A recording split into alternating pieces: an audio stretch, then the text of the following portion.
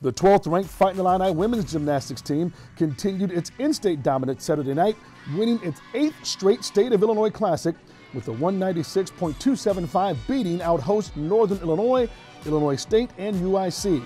Two different Illini gymnasts claimed individual titles as Sunny Kato finished first on the bars and beam, while Mary Jane Horth finished first on floor and the all around.